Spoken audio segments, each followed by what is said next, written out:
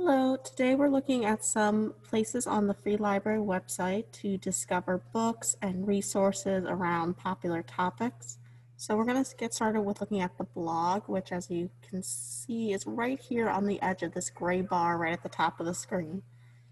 Uh, when you click on it, you'll see articles that are relevant to the news of the day or the seasons or new things that are happening at the library. So um, if you're looking for books, sometimes we'll have books um, related to a holiday. Um, for instance, Martin Luther King Day, if you click on that article, you'll see an entire list of books to share with children around uh, the work of Dr. Martin Luther King Jr. So let's go back to our main screen and we're going to see another place that you can go, which is the Explore button right here. Uh, explore really means exploring some topics. Uh, and you can see some of the topics underneath. So Black Lives Matter, digital media guide, uh, graphic novels.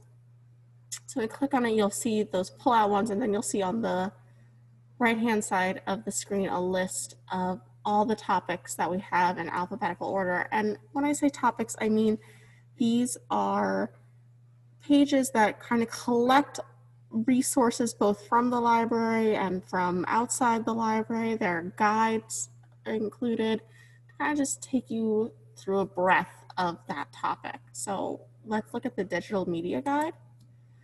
So right at the top, we'll have guides on what to do if you're new to ebooks, how to add library books to your Kindle. Um, and then as you go down, there's links to uh, places outside of our website uh, that are relevant. We have some book lists, and then we'll have electronic resources. So these would be uh, databases and such in the lib uh, on the library's website that you can go to. So audiobooks, classical music, and then upcoming events related to the topic. So here, virtual programming, um, some library, uh, some like a book talk, all kinds of fun things going on right now.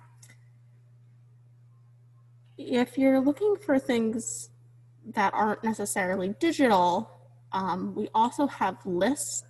So lists are going to be book lists. Uh, those can be book lists of both digital books or also physical books. Uh, let's look at explore more lists. So you can click either explore more lists or you can click on the list heading right here. And again, we're in the explore page of the free library website. And we have over 600 lists created by staff members. Um, if you can also create a list yourself and that's called a community member list.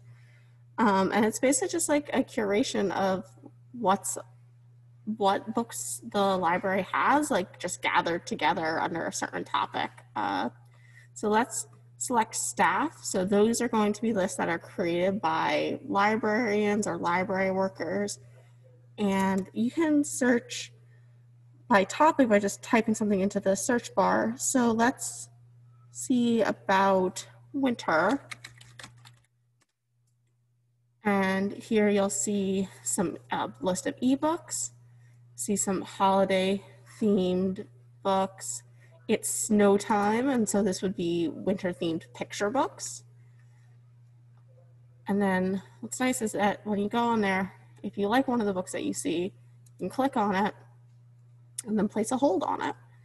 Let's go back and see what other kinds of lists we can see. Uh, or oh, cozy teen reads for winter. And so these would be books for teenagers that are have like kind of a winter theme to them. And again, if you see something you like, you can click on it and then place a hold on it.